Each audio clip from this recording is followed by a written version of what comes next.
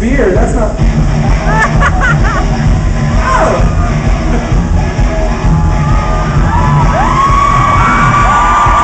It's just water. You, should, you guys, water is very important. You should always hydrate. Ladies and gentlemen, this next song that we're about to perform for you tonight is what this whole show is all about.